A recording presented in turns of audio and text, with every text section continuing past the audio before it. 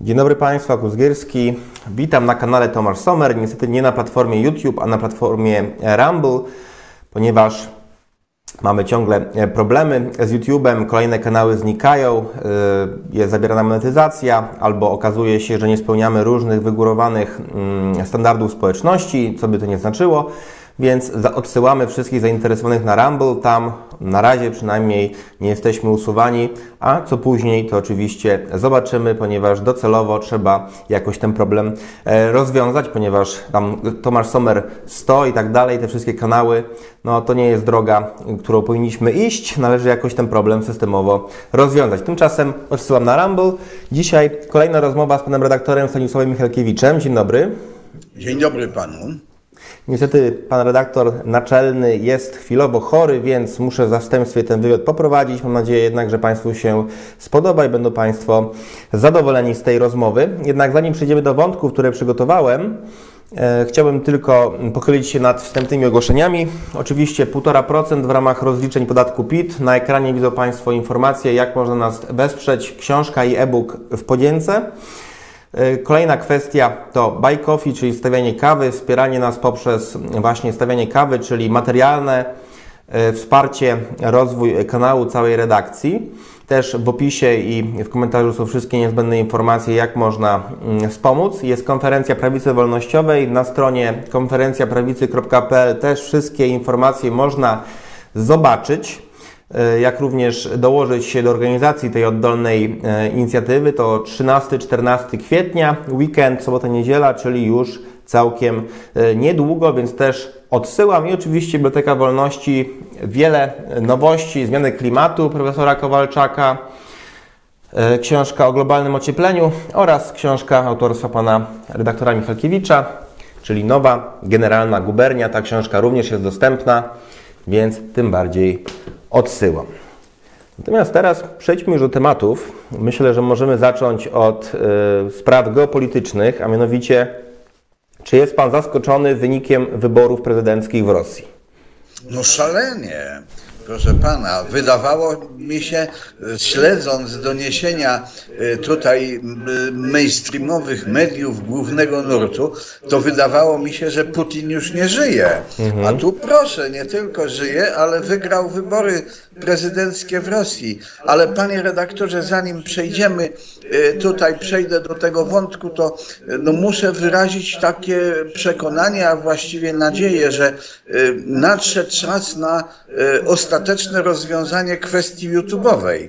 Mhm. Bez tego się chyba nie obejdzie, bo dalsze eksperymentowanie z YouTube'em to jak pan sam zresztą mhm. zauważył, y, do niczego nie prowadzi, więc to y, świadczy o tym, że nadchodzi, zbliża się moment ostatecznego rozwiązania kwestii YouTube'owej. No i mam nadzieję, że to nastąpi.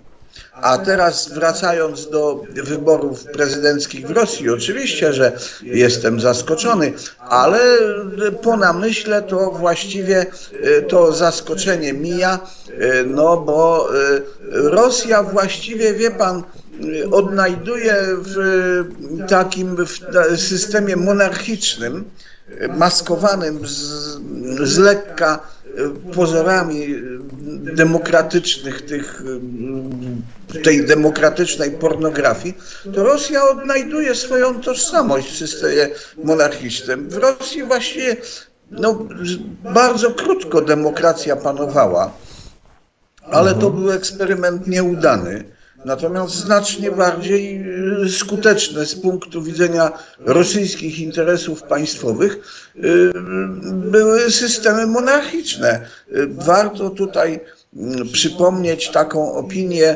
wybitnego rosyjskiego męża stanu, wybitnego naprawdę, Sergiusza Witte. On był zwolennikiem samodzierżawia. Nie miał żadnych takich złudzeń co do tych przesądów demokratycznych i mówił tak. Ja kocham samodzierżawie, tak jak się kocha kobietę wszeteczną, ale piękną. Mhm. No więc y, Rosjanie chyba to rozumieją i dobrze się w tym czują. W związku z tym no, no, trudno tutaj zrozumieć te y, wszystkie ubolewania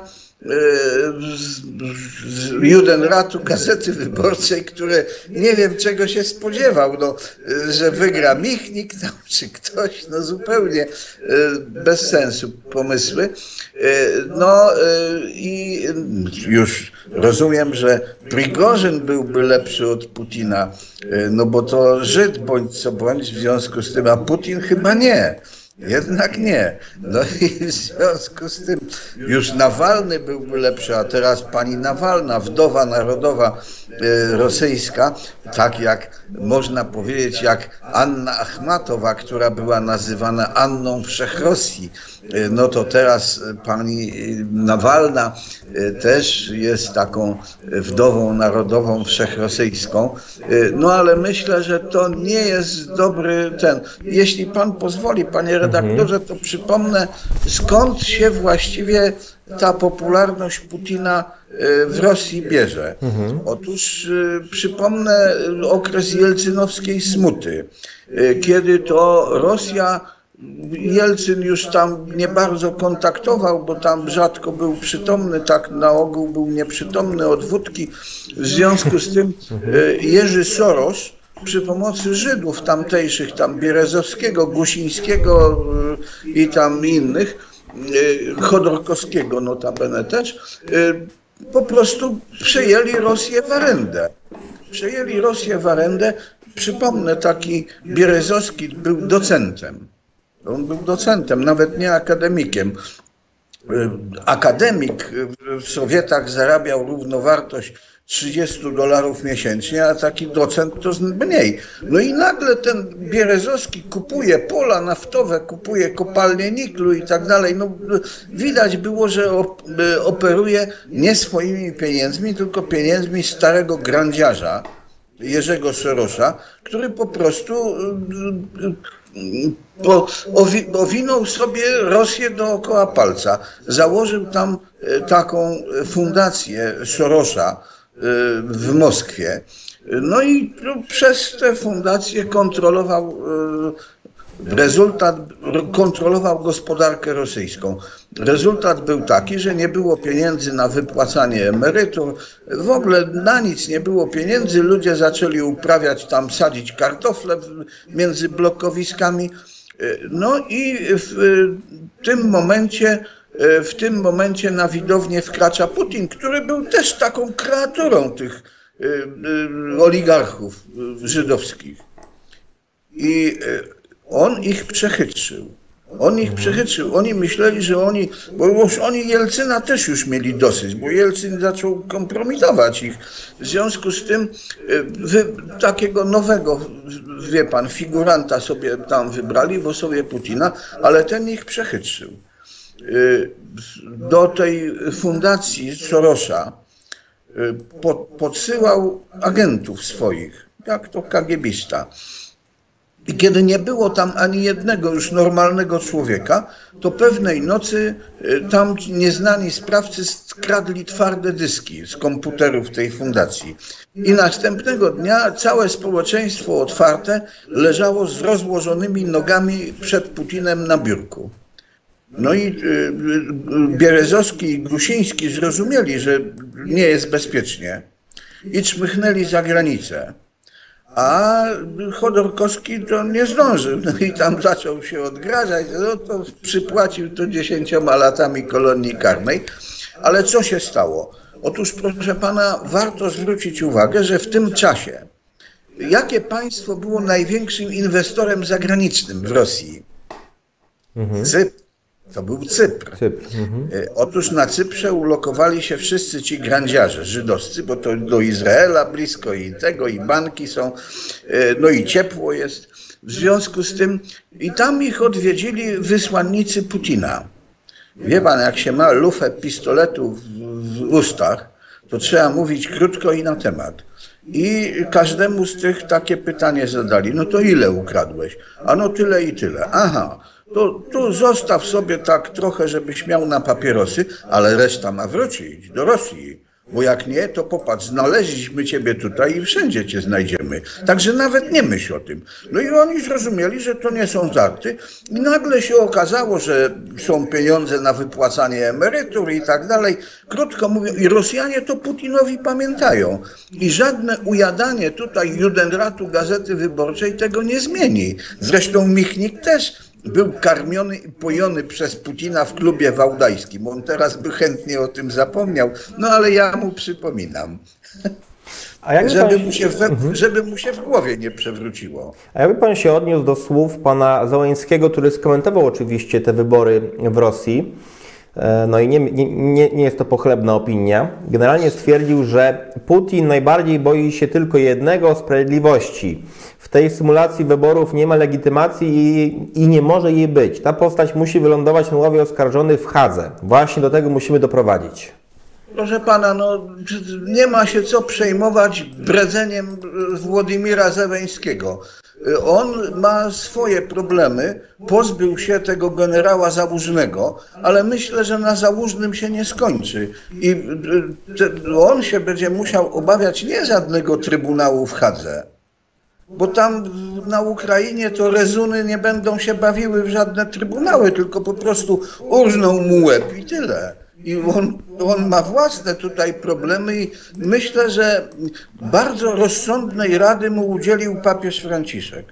Papież Franciszek, no różne ma pomysły, nie zawsze tam mi się one podobają, ale tutaj wydaje mi się, że udzielił mu życzliwej rady bo po pierwsze, no, dzięki aparatowi informacyjnemu, którym, którym Kościół dysponuje, to papież Franciszek może wiedzieć coś, czego tutaj nasi mądrale nie wiedzą. E, no i w związku z tym życzliwej rady mu udzielił, żeby póki jeszcze może wywiesił białą flagę. Mhm. Póki jeszcze może. I to na, nawet nie ze względu na Putina, tylko ze względu na sytuację wewnętrzną na Ukrainie bo może mu ktoś podstawić, wie pan, ładunek wybuchowy pod tyłek i nawet nie będzie wiedział, kiedy się przeniesie na łono Abrahama. I, ale on najwyraźniej, wie pan, jest zatwardziały w swoim tym, w swojej pysze, a pycha to jest kroczy przed upadkiem.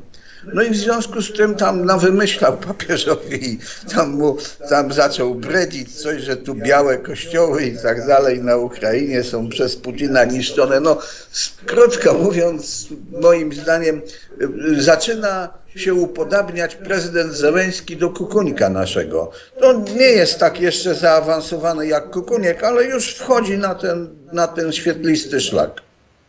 E, dalej zostając przy temacie Ukrainy, jest ciekawa kwestia, ponieważ ostatnio pan minister spraw zagranicznych Radosław Sikorski stwierdził, że żołnierze NATO są już e, na Ukrainie, a teraz, jak możemy przeczytać w internecie, hiszpański dziennik tutaj nie umiem hiszpańskiego, ale powiedzmy, że El Pua potwierdził... El País, El País. El País, a po prostu, czyli tak, tak jak się, tak jak się pisze. Okej, okay. chciałem za bardzo chyba z francuskiego, nieważne.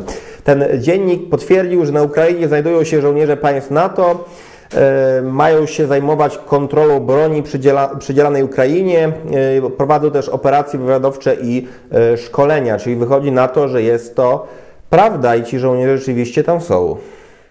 Proszę pana, jasne.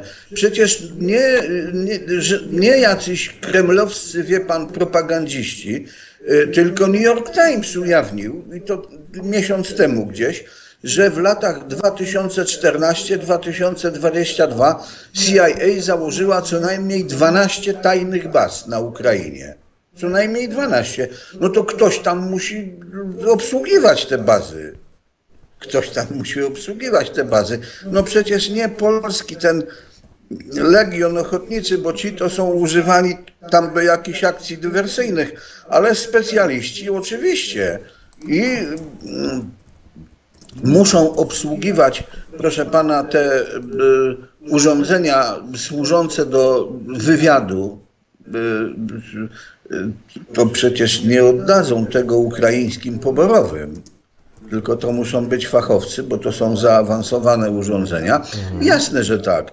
Jasne, że tak. Ja od samego początku mówię, że y, na Ukrainie Stany Zjednoczone i Sojusz Północnoatlantycki prowadzą wojnę z Rosją do ostatniego Ukraińca. Taka jest i to podtrzymuję tę opinię. No i teraz nawet książę małżonek, który no jest może bardziej szczery, szczery od innych tych ministrów spraw zagranicznych, książę małżonek to potwierdził. Ja mu wierzę. Mhm. A słyszę Pan o aferze z amunicją um, zakupioną, przez, zakupioną w ramach środków z Komisji Europejskiej. Otóż Pan były minister obrony, Pan Mariusz Błaszczak stwierdził, czy właściwie zapytał, dlaczego z przekazanych przez Komisję Europejską 500 milionów euro na produkcję amunicji artyleryjskiej do Polski trafi zaledwie około 2,1 miliona euro. I właśnie wskazuje się no na to, że dużo więcej dostaną Niemcy. Proszę pana, dlatego, że y, Niemcy i Francuzi mają, uważają, że pol, polscy mężykowie stanu to są durnie. Mhm. I obawiam się, że mają rację.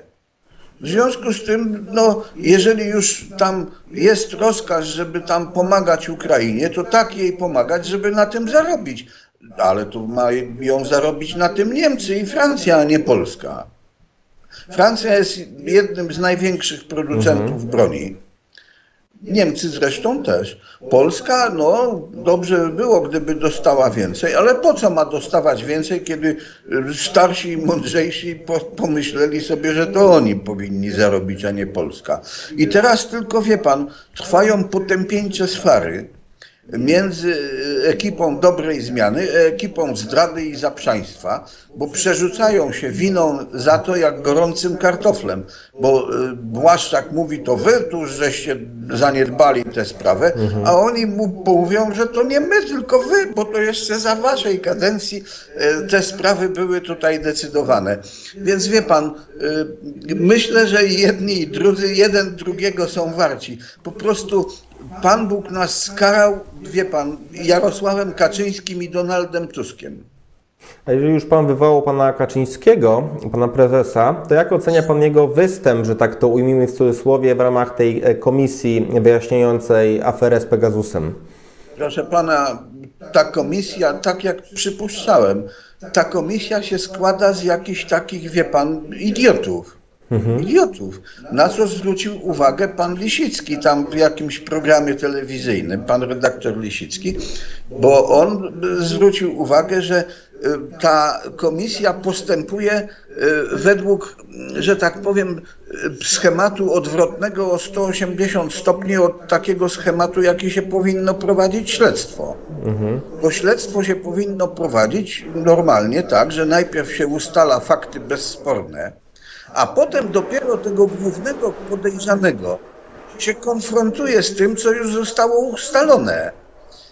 A tutaj ta niemądra pani Sroka cała i ci jej, wie pan, przydupasowie w tej komisji, y, najpierw y, postanowili przesłuchać Jarosława Kaczyńskiego, a potem sprawdzić, co właściwie powinni ustalić, żeby go przyłapać na kłamstwie. No po prostu banda idiotów, ale ja tu, wie pan, się temu nie dziwię, bo przecież to nie służy żadnemu wyjaśnieniu sprawy, jak zresztą żadna sejmowa komisja śledcza, tylko temu, żeby szum był. No to szum jest. Szum jest, pani Sroka jest zadowolona, bo tam pod ogona, spod ogona jej się sypie mak, no i wie pan, i wszyscy inni też, bo każdy tam y, odgrywa rolę wielkiego męża stanu, wielkiego, proszę pana, śledczego i tak dalej, z posłem Wiplerem na czele, moim faworytem tam w tej komisji. No i, a, no i słusznie Jarosław Kaczyński ich zlekceważył. Moim zdaniem słusznie ich zlekceważył, tych mężyków stanu. Tam będzie się im spowiadał, a jakże. Właśnie, jeżeli mówimy o różnych głośnych sprawach, które odbijają się w mediach echem, no to jak jest z panem Zbigniewem Ziobro? Ponieważ ostatnio, żeby już uciąć spekulacje, wrzucił takie zdjęcie dramatyczne, że leży tam podłączony do aparatury w łóżku w szpitalu. No i pytanie właśnie, czy on rzeczywiście jest chory, e, czy tak jak krytycy wskazują, e, symuluje, żeby nie e, odpowiedzieć jakoś prawnie, administracyjnie za różne sprawy w ramach Proszę rządów. Pana Proszę pana, to Judenrat Gazety Wyborczej przoduje wśród tych krytyków. Jestem przekonany, że jak, nie daj Boże, wie pan, ja nie życzę tego panu Ziobrze, ale jakby pan Ziobro umarł, to Judenrat Gazety Wyborczej ogłosi w myśl y, przygód dobrego wojaka Szwejka, że umarł w szpitalu jako symulant. Wie pan, co, jeszcze, no myślę, że dochodzimy powoli do tego po, poziomu absurdu. Y, y, Judenrat Gazety Wyborczej już coraz szybciej do tego, w miarę jak Michnik się starzeje, to coraz gorzej jest już z nimi. Mhm. Ale pan osobiście jak uważa, czy jest chory? Osobiście uważam, że rzeczywiście ma raka przełyku. To jest bardzo trudna sprawa. E, no i wie pan, nie wydaje mi się, żeby e, tutaj wpływy Zbigniewa Ziobry były tak duże, żeby szpital tam w Lublinie e, wszyscy lekarze zaangażowani w proces jego leczenia zdecydowali się na fałszowanie dokumentacji medycznej.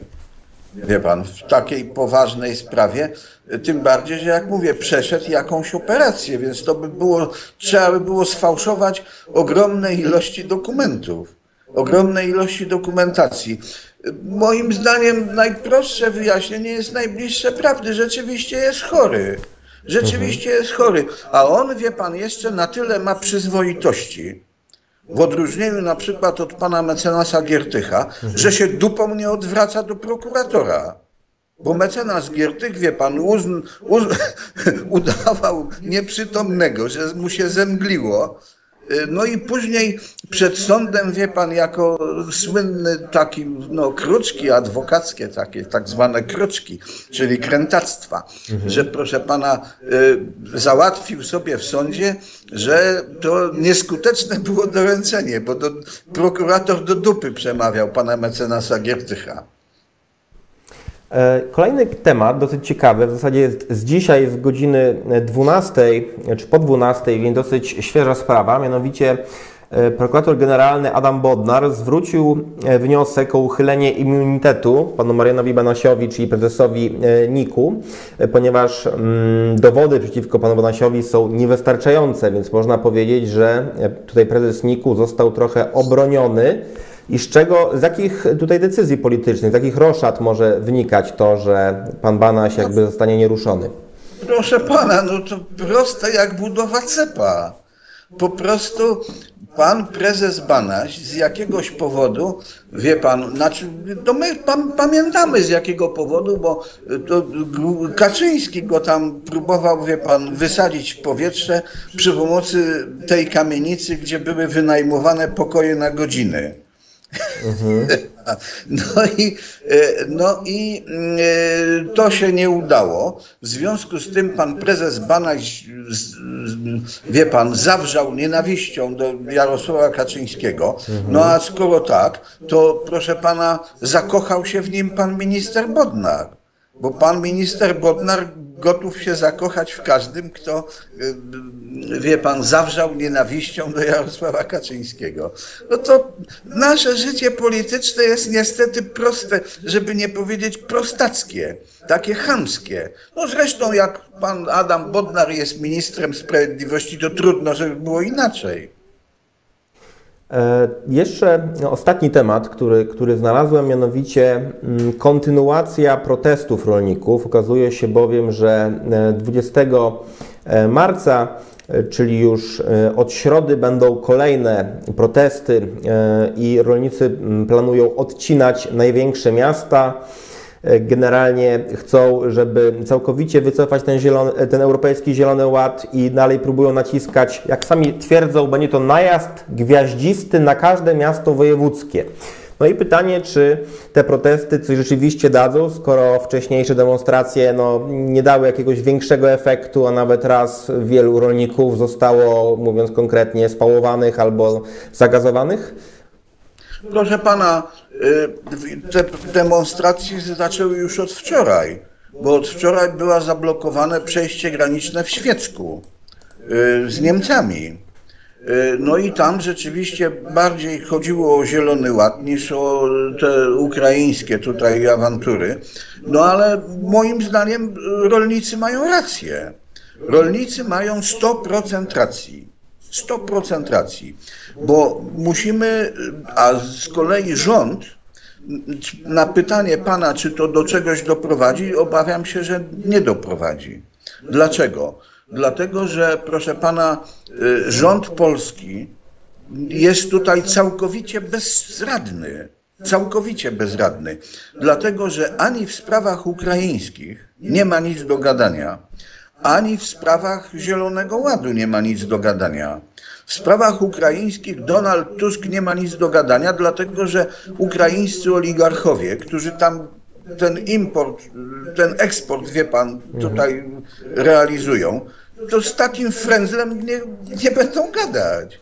No co im Tusk, wie pan, to, z takich Tusków to u nich trzech na kilo wchodzi. Więc a, nie zamierzają z nim w ogóle gadać. I on o tym wie. On o tym wie.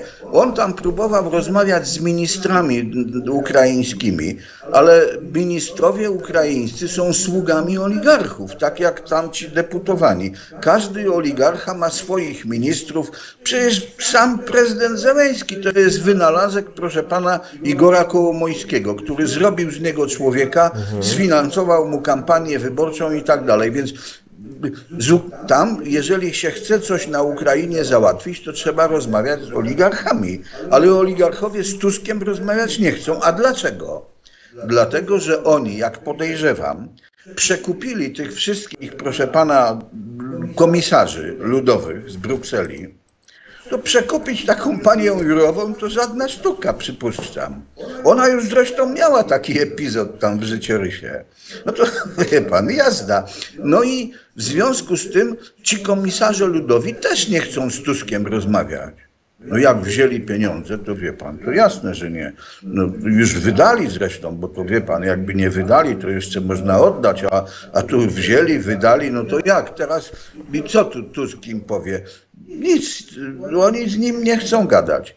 Tak samo w sprawie Zielonego Ładu.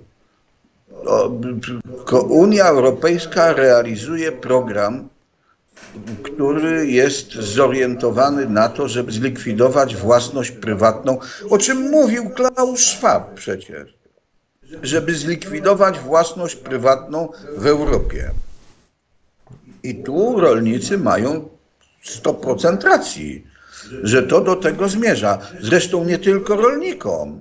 Nie tylko rolnikom, ale posiadaczom nieruchomości, bo przecież ta neutral, neutralność klimatyczna budynków do czego zmierza? Do tego, że za długi będą banksterzy przejmować nieruchomości od zadłużonych właścicieli, którzy nie będą w stanie spłacić, proszę pana, długu, a długi będą musieli zaciągnąć, żeby doprowadzić do neutralności klimatycznej.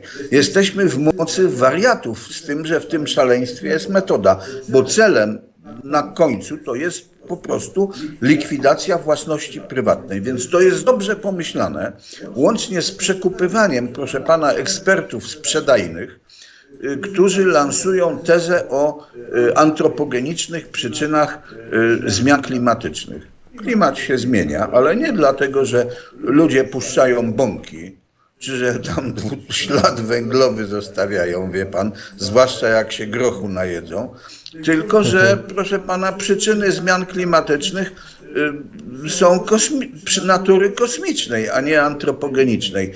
I tyle. I wie pan, ale to ponieważ większość y, tak zwanych młodych, wykształconych z wielkich miast, którzy, jak się mogłem przekonać osobiście, jak miałem zajęcia ze studentami, że proszę pana, nie wiedzą, dlaczego pory roku się zmieniają. Studenci no to im można wszystko wmówić, zwłaszcza jak Judenrat Gazety Wyborczej powie, kto nie skacze, to ten jest, wie pan, czego. No, to im można wszystko wmówić. W związku z tym obawiam się, że y, tu potężne, proszę pana, moce piekielne zostały zaangażowane w tę sprawę i rolnicy y, myślę, że nie doprowadzą do żadnych zmian, nawet jakby, proszę pana, połowa z nich popełniła harakiri.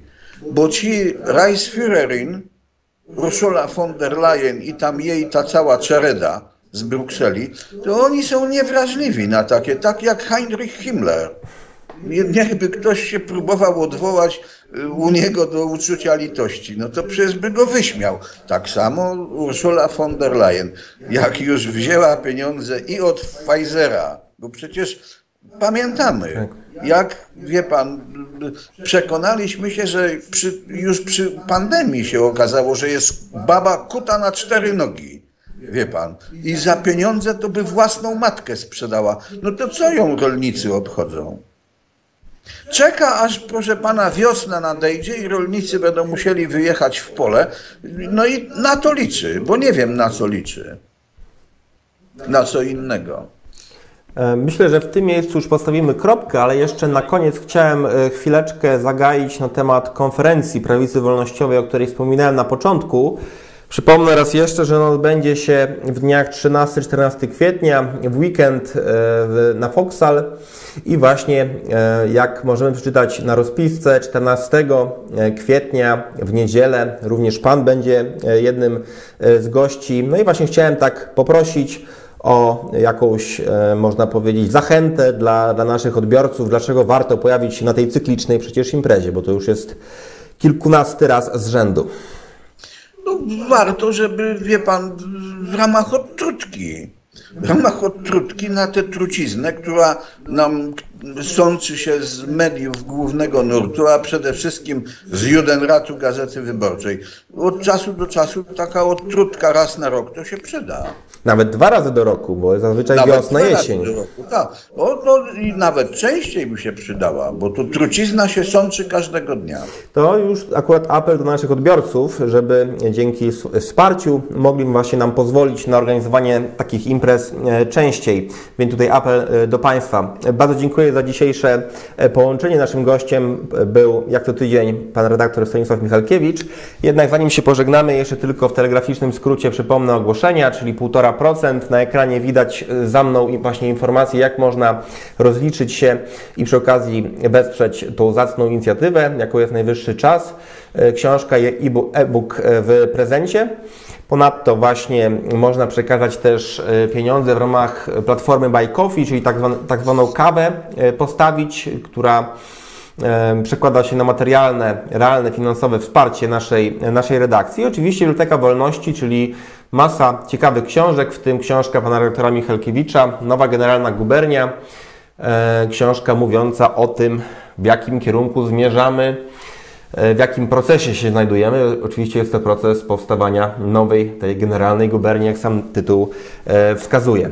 I oczywiście też najnowszy numer najwyższego czasu, na okładce bunt rolników i te tematy, które cały czas się nie starzeją, czyli walka z nowym Zielonym Ładem, z tym, co wypływa do nas z e, Brukseli, tudzież z Berlina, jak to woli. Dziękuję raz jeszcze za wysłuchanie naszej audycji i do usłyszenia kolejnym razem.